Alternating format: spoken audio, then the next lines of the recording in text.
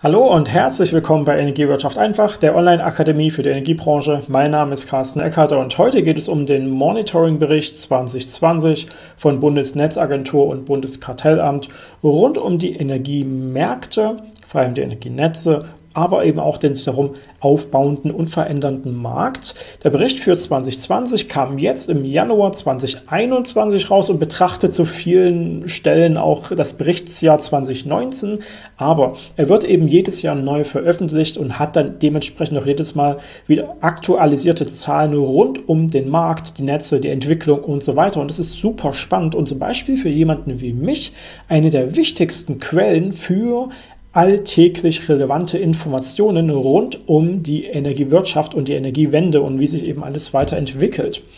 Ähm, das kommt auch daher, dass dieser Bericht, der eben jedes Jahr von Bundesnetzagentur und Bundeskartellamt erstellt wird, ähm, auf Grundlage von Informationen der einzelnen Marktteilnehmer entsteht. Das heißt, man wird dann aufgefordert, als Marktteilnehmer teilzunehmen und statistische Informationen und so weiter ähm, eben äh, rauszugeben an die Bundesnetzagentur. Das muss man dann auch als Marktteilnehmer machen. Und auf Grundlage dieser Informationssammlungen kann dann eben dieser Bericht jedes Mal entstehen. Und wir überspringen jetzt ja einfach die Kernaussagen, das interessiert gar nicht so sehr. Ich will euch zeigen, wie ihr mit diesem Dokument zum Beispiel umgehen könntet. Ich verlinke euch das ja auch bei der Bundesnetzagentur. Übrigens, vielleicht habt ihr es schon mitbekommen, die Webseiten von BNetzA, BSI und Co. haben sich verändert. Die haben irgendwie ihre Content-Management-System umgestellt und deswegen funktionieren ganz viele Links nicht mehr. Wir werden mal versuchen, nach und nach unsere Links in den Videobeschreibungen auch abzudaten. Ähm, das heißt aber vor allem auch aktuell funktioniert Google im Regelfall nicht in Verbindung oder auch die anderen Suchmaschinen nicht in Verbindung mit den Seiten der BNSA. Da müsst ihr dann teilweise äh, mit den internen Suchmechanismen der Seiten ähm, umgehen und das ist äh, schrecklich. Aber auf jeden Fall nur zur Info, das liegt da nicht an euch, wenn ihr aktuell Sachen nicht finden könnt, die ihr immer finden konntet. Diese Monitoring-Berichte sind dann strukturiert in vor allem erstmal den Elektrizitätsmarkt und dann weiter hinten den Gasmarkt und als römisch 3 übergreifende Themen. Wir fangen mal vorne an äh, beim Elektrizitätsmarkt. Ihr habt dann mehrere Teile, die dann jeweils mit den Buchstaben benannt sind. Äh, Entwicklung auf den Elektrizitätsmärkten, dann konkret die Erzeugung, also Kraftwerksbereiche, die Netze, die Systemdienstleistungen wie Regelenergie und Co., grenzüberschreitender Handel, Großhandel, Einzelhandel, was dann also auch direkt die, die Belieferung, die Versorgung von Kunden ist, Mess- und Zählwesen, Smart Metering zum Beispiel, auch dort als Teilbereich. Und schon kommen wir zum nächsten Thema, was dann wieder ähnlich strukturiert ist, Gasmärkte, Aufkommen von Gas, natürlich auch Importe, Förderung und so weiter, Netze, auch hier Regelenergie, auch hier Großhandel, Einzelhandel, Messwesen und dann eben die übergreifenden Themen, wo es einerseits auch nochmal um die ähm, Transparenz äh, für den Markt selbst geht und zum Beispiel auch Remit, was in eine ähnliche Richtung geht. Auch da natürlich äh, Berichtswesen rund um eben ähm, Markttätigkeiten, Marktkräfte und so weiter. Was dann vor allem auch natürlich hier in die Tätigkeitsbereiche des Bundeskartellamts mit reinfällt. Aber wie könnt ihr denn im Alltag mit diesem Dokument zum Beispiel arbeiten? Denn, wie wir auch jetzt hinten sehen können, es sind ja äh, etwa 500 Seiten. Ja, also da, das ist jetzt nicht so mal nebenbei gelesen. Ähm, wir haben hier, wie gesagt, am Anfang ja den Bereich Elektrizitätsmarkt und dann kann man hier schon mal übergreifende Bereiche sehen, Entwicklung auf den Märkten. Das heißt, die ersten 50 Seiten, die sind so ein bisschen Aktuelles, könnte man sagen. Ne? So ein bisschen Zusammenfassung, wie läuft der Markt, wie entwickelt er sich. Da, das könnte man sich fast so am Stück durchlesen, wenn man echtes Interesse hat, wenigstens überfliegen. Aber diese einzelnen Kapitelchen hier haben auch immer eine sinnvolle Bezeichnung. Wenn ich mich jetzt zum Beispiel interessiere für die Einbaufälle im Smart Metering, so, welche Pflichteinbaufälle gibt es für intelligente Messsysteme und für moderne Messeinrichtungen? Das findet man selbst in der BSI-Marktanalyse nicht komplett, nicht, nicht alle Daten dazu. Da findet man nur die Pflichteinbaufälle für intelligente Messsysteme, nicht die anderen Daten. Dann würde ich hier also mal gehen zum Bereich Mess- und Zählwesen. So, und dann, okay, die offensichtlichen äh, Bezeichnungen hier sagen es noch nicht unbedingt, aber jetzt weiß ich selbst, Anforderungen, Paragraph 29 äh, MSBG das ist der Bereich, ähm, wo es eben auch darum geht, die Pflichteinbaufälle für intelligente Messsysteme zu beschreiben. Das heißt hier ähm, äh, praktisch äh, römisch 1, Teil H, Kapitel 3, Seite 308 und fortfolgend wären die richtigen Stellen, wo ich jetzt meine Informationen finde zum Thema Pflichteinbaufälle. Da können wir einfach draufklicken. Jetzt sehen wir sogar noch vorher hier die Gesamtanzahl von Messlokationen nach Bundesländern geteilt. Äh, für eben hier, wie gesagt, das Berichtsjahr 2019, also hier Stichtag 31.12.2019, wo man zum Beispiel die Gesamtanzahl der Messstellen ähm, in Deutschland aufgeteilt nach Bundesländern sich anschauen kann, sowohl für die Verbrauchsseite als auch die Einspeiseseite, was interessant sein kann, je nachdem, was man mit Daten eben mal anfangen müsste. Aber wenn wir jetzt weitergehen, auf zum Beispiel jetzt hier Seite 309 hat erstmal noch die Anzahl der zertifizierten ähm, Smart Meter Gateway Hersteller und dann haben wir auch schon die Tabelle mit den Pflichteinbauten für die intelligenten Messsysteme. Also die Kunden mit mehr als 6000 Kilowattstunden Jahresverbrauch oder mit mehr als 7 Kilowatt Erzeugungsleistung. Und wenn ich mich nicht irre, haben wir auf der nächsten Seite sogar auch noch die optionalen Einbauten. Das sind dann praktisch alle anderen. Das sind also die Pflichteinbauten für moderne Messeinrichtungen, die, die kleineren Kunden unter 6000 Kilowattstunden und unter 7 Kilowatt Erzeugungskapazität. Und das ist natürlich schon mal super spannend, denn jetzt kann man hier an diesen Zahlen sehen, wie, viele Messstellen gibt es denn jetzt eigentlich in Deutschland, die nicht ein Pflichteinbau des eigentlichen Premium Smart Meters ähm, ja, davon betroffen sind. Das sind hier diese 21,7 Millionen plus nochmal knapp 9 plus nochmal 5,5 und 4,5 und nochmal hier 621.000 Einspeiser, also irgendwas über 40 Millionen. Ähm, optionale Einbaufälle, die also dementsprechend nicht gezwungenermaßen den richtigen Smart Meter bekommen, sondern eben rein optional äh, und dementsprechend aber trotzdem mit, mit, modernen Messeinrichtungen ausgestattet werden müssen über die nächsten Jahre, weil ja die alten Zähler grundsätzlich ausgetauscht werden. So, das ist eine super Zahl, um ein Gefühl für den gesamten Markt in Deutschland zu bekommen. Wenn man das es irgendwie einschätzen muss in seinem Job, ähm, irgendeine Sache ausarbeiten soll für den Geschäftsführer seines Stadtwerks zum Beispiel, dann kann man hier immer anfangen. Das sind immer die richtigen Ausgangspunkte ähm, im, im Monitoring-Bericht der Bundesnetzagentur. Da findet man super Informationen. Ja, zum Beispiel hier ähm, die optionalen Einbaufelder mit intelligentem Messsystem. Heißt ja, hier hat jemand sich freiwillig ein intelligentes Messsystem einbauen lassen, praktisch mit eigenem Willen.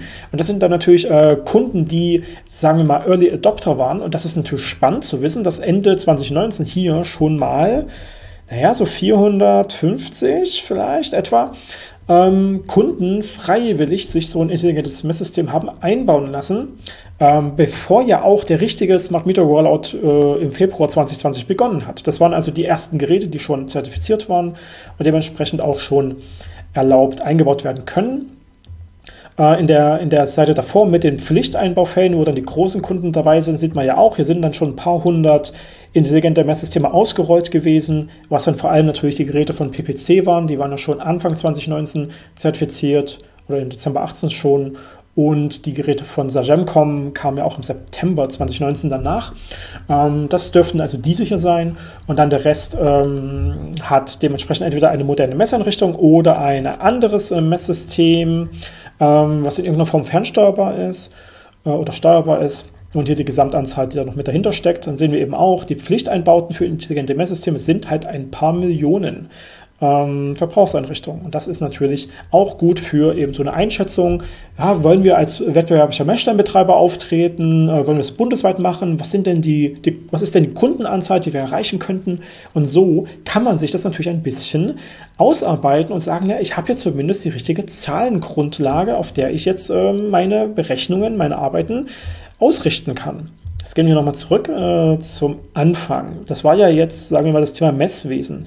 Wenn uns stattdessen im Besonderen interessiert, meinetwegen Stromsperrungen, Stromsperren. So, dann haben wir hier zwar in der Über, im Überblick im Bereich A schon das Thema Stromsperren, das ist aber nur eine Seite, das heißt, das ist nur die Zusammenfassung. Stattdessen müssen wir wahrscheinlich in den Einzelhandel schauen, weil das dann die Haushaltskunden sind. Lieferantenwechsel sieht schon mal gut aus. Stromsperrungen, genau, hier. Ähm, Teil G, Kapitel 3. Seite 261 Stromsperrungen und so weiter. So, da kann man hier mal reingucken, was dort steht. Im Regelfall findet man hier auch Grafiken. Genau, auf sowas habe ich jetzt gehofft, damit wir nicht den Fließtext uns anschauen müssen, sondern Hier ist es unterteilt, auch nochmal nach Jahren 2016 bis 2019, wie viele Sperrandrohungen gab es. Und das waren halt tatsächlich 4,7 Millionen Sperrandrohungen, wo also schon die mindestens zweite Mahnstufe dann überschritten war. Und man gesagt hat, lieber Kunde, äh, zahl jetzt mal schnell, sonst wirst du hier demnächst gesperrt. Dann gab es 910.000 Sperrbeauftragungen, wo also auch dann noch keine Zahlung kam. Und der Versorger jetzt dem Netzbetreiber gesagt hat, lieber Netzbetreiber, bitte sperre tatsächlich den Kunden. Sperrbeauftragung heißt, jetzt kann immer noch der Kunde ganz schnell zahlen. Das heißt, dann nehme ich die echte Anzahl von Sperrungen war hier bei 235.000 Kunden in der Grundversorgung, die also beim örtlichen, regionalen oder kommunalen Versorger waren. Und nochmal fast 70.000 weitere, die von irgendeinem Versorger beliefert worden sind und auch da nicht gezahlt haben. Äh, normalerweise gibt es in dem Bereich halt dann einfach eine Kündigung. Na, dann werden die Kunden rausgeschmissen und landen in der Ersatzversorgung beim Grundversorger. Aber anscheinend gibt es auch einige äh, bundesweite Lieferanten, die auch direkt eine Sperrung beim Netzbetreiber beauftragen. Das ist natürlich ganz spannend. Und wir sehen eben hier tatsächlich, dass die Gesamtanzahl schwankt, je, je nachdem, aber gefühlt dann im letzten Jahr oder 2019 als Berichtsjahr ähm, die Zahlen ein bisschen zurückgegangen sind im Vergleich zu davor. Was nicht unbedingt am Strompreis liegen kann, weil der ist nicht gesunken, aber dann wahrscheinlich war, war es einfacher zu bezahlen, entweder weil die Leute dann doch nochmal den Euro mehr in der Tasche hatten oder weil vielleicht auch mal ein paar mehr modernere Zahlungsmöglichkeiten angewendet worden sind. Das kann man vielleicht auch hier noch irgendwo finden, woran es lag. Ähm, womöglich auch hier einfach im Fließtext, das müssen wir jetzt aber nicht unbedingt machen. Ähm, hier haben wir nochmal Sperrungen nach Bundesland unterschieden. Das ist natürlich auch super interessant, wenn man das unterteilen will und so ein bisschen auch mit demografischen und ähnlichen ähm, Hintergründen noch verteilen, äh, vergleichen möchte.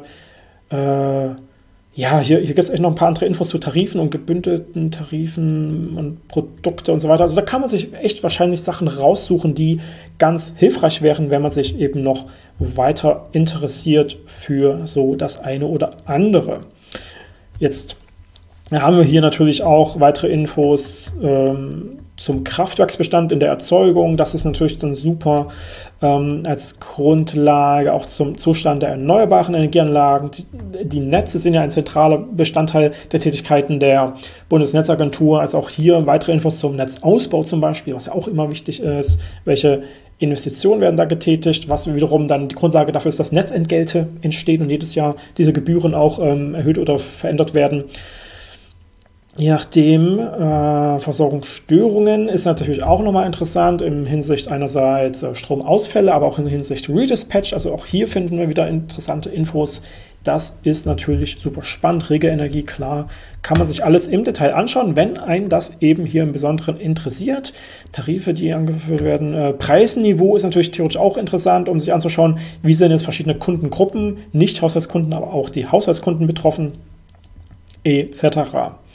Ähm, je nachdem, was einen interessiert, sind also diese Berichte hier von der Bundesnetzagentur super spannend, nicht nur wegen den 500 Seiten Fließtext, sondern weiter natürlich auch jede Menge Grafiken drin sind, die dann ja im Regelfall auch direkt von der Bundesnetzagentur erstellt worden sind und dann auch mal für die ein oder andere eigene Ausarbeitung verwendet werden können oder zumindest diese Daten für eigene Grafiken dann wiederum natürlich verwendet werden können. Diesen äh, Bericht findet man, wie gesagt, auf der Webseite der Bundesnetzagentur. Ähm, kann man sich einfach runterladen und dann muss man sich am besten mit der Kapitelstruktur oder mit äh, der Suchfunktion durch diese 500 Seiten mal durchkämpfen. Ist insoweit ein wie immer spannendes Dokument, was wirklich eine gute Grundlage ist, um einfach mal loszulegen und sich mit Themen weiter auseinanderzusetzen. Ich speichere mir dieses diesen Bericht auch tatsächlich einfach immer ganz nah irgendwo in einem Ordner, in dem ich regelmäßig bin, ab, um da mal reinzuschauen, wenn ich mir eine Frage stelle oder irgendwas recherchieren möchte. Da finde ich äh, bei der BNSA ja im Regelfall die richtige Datenquelle. Soweit zu diesen Monitoring-Berichten, ähm, die also wie gesagt jedes Jahr rauskommen. Jetzt Januar 2021, Ende Januar kam die neueste Variante, der Bericht für 2020. Habt ihr Fragen dazu? Gerne unten in die Kommentare schreiben. Ansonsten wie immer, liked das Video, abonniert den Kanal, schaut auf unseren Webseiten mal vorbei, energiewirtschafteinfach.de, da haben wir unsere Seminarangebote, Online-Seminare machen wir ja auch, oder n1.de, da haben wir unsere Online-Kurse und unsere E-Books. Bis zum nächsten Mal bei Energiewirtschaft einfach, der Online-Akademie für die Energiebranche. Mein Name ist Carsten Eckert.